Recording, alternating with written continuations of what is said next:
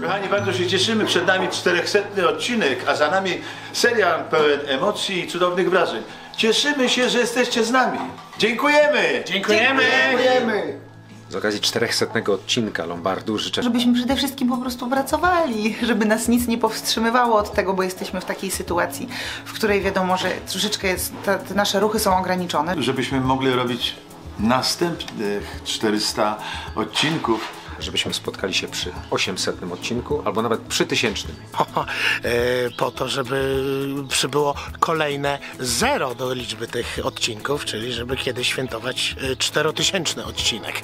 żeby ta popularność seriali nie słabła, żeby pojawiały się bardzo fajne wątki. Żeby nam nikt nie wciskał hamulca ręcznego, żebyśmy mogli po prostu działać tak, jak działamy dla, dla naszych widzów, dla Państwa.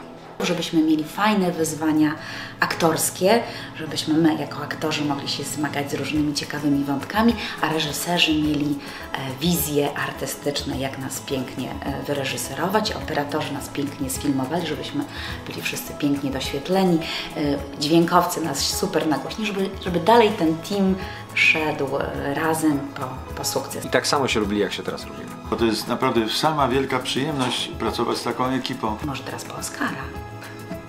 Albo jakieś, jakieś inne nagrody telewizyjne. Ja w ogóle jestem e, bardzo wdzięczny, że mogę pracować z taką wspaniałą ekipą. To już jest wow, no to czy jeżeli przez 400, 400 odcinków e, widzowie nie znudzili się historiami z Lombardu, postaciami, e, właśnie ekipami, e, które tworzą ten fajny zespół, to znaczy, że to jest mega sukces. I życzę wszystkim, żebyśmy byli tak zadowoleni, jak ja jestem.